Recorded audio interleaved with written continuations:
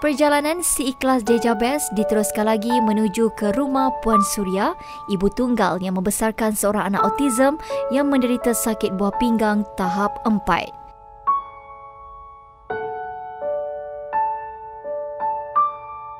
Sekilas pandang, adikku Zairi atau lebih mesra dipanggil Zairi kelihatan normal seperti kanak-kanak yang lain malah menyambut kedatangan kami dengan penuh ceria.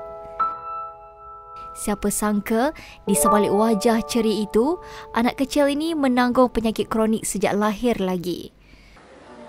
Macam mana boleh terkenanya sejak lahir tu sakit buah pinggang? Hmm. Yang tu saya rasa saya tak hmm. Mungkin benda tu uh, dah ketentuan Tuhan lah sayu apabila Puan Surya menceritakan kisah tiga tahun lepas di mana anaknya itu tiba-tiba pitam dan setelah diperiksa remuk hati seorang ibu apabila diberitahu anak yang dikandung selama sembilan bulan itu mengalami strok sebelah muka dan kedua-dua buah pinggangnya mula mengecut. Adik Zairi perlu menjalani dialisis sebanyak empat kali sehari selain dia juga perlu mengambil 24 biji ubat setiap hari. Waktu pagi dia akan uh, dialisis pada pukul 8 pagi. Lepas tu uh, satu tengah hari, 6 petang dan 9 malam. Uh, sebab ke waktu itulah yang buatkan saya tak boleh bekerja. Hati mana yang tidak sedih melihat anak yang amat disayangi menanggung derita yang bukan sedikit. Macam mana penerima anak bila mula-mula cerita lain, terus akak tahu dia sakit tu. Rasa tu mula-mula tu, kepada saya tu, cakap masa akak doktor daripada lahir tu doktor dah cakap kemungkinan bila dia besar dia akan relax. Relax tu masuk sakit tu akan datang semula. Masa tu akak tak terfikir pun yang secepat tu lah.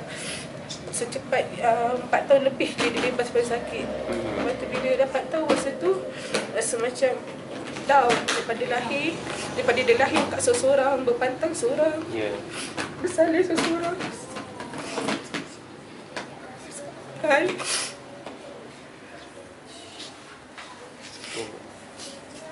Satu je lah uh, Moga ada keajaiban buat dia dan moga ada uh, yang ada rezeki dia untuk transplant. Ibu ini begitu gigih mencari rezeki untuk menampung hidup mereka berdua dengan meniaga secara kecil-kecilan untuk meneruskan hidup. Bagi meringankan beban yang ditanggung mereka, pihak Deja Kosmetik dan Best FM telah memberi sedikit sumbangan dari segi keuangan dan barangan asas kepada mereka berdua. Moga harapan Puan Surya agar anaknya menerima transplant buah pinggang dipermudahkan. InsyaAllah.